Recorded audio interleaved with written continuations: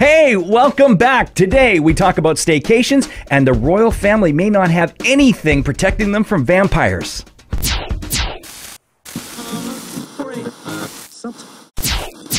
Hey, welcome back. So, we got a couple of things that I wanted to chat about today that were sort of interesting. One really bizarre item Camilla Parker Bowles was on MasterChef Australia, and one of the judges asked her, Is there anything the royal family cannot eat, doesn't eat? Like they have a rule against eating this. The royal family's big, long lineage, lots of people in the family that spreads across many countries. You know what her response was? Garlic. Think about that for a second. We use garlic in everything to spice up this and that. I mean, no garlic on a steak? Oh, come on. What is protecting the royal family from vampires? Are they all vampires? Something to think about.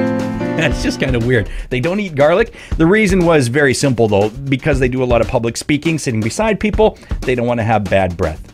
Good thing it's not beans, Queen. Good thing. Oh, last week I had a week off. I took a staycation, stayed in the Peace River area, and it was amazing. Honestly, it was the most relaxing time I've had since my last long vacation, which was last summer. Basically, got to sleep in each morning, helped around the house, did some chores for my wife, but spent a lot of time with my dogs. And I know we have the dogs at home, so I get to spend time with them. But to be able to have what seemed to be a limitless amount of time with them, it was amazing. We have two boxers, lots of energy, so spent some time in the hills, did some running with them. It was amazing. Not to mention being able to actually go see a movie. I haven't seen a movie in a long time at the theater Sicario, the second one, incredible. Man, I was going to throw my hat when they took a shot at Benicio del Toro, shot him right through the face, both sides of the cheeks.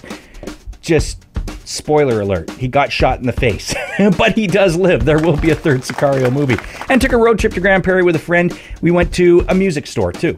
So you can't beat that. We can talk about staycations too. Don't forget, subscribe down below to this video, comment on it, tell me about your best staycation, or maybe some foods that you and your family hate together. It's a rule in your house. You don't eat it.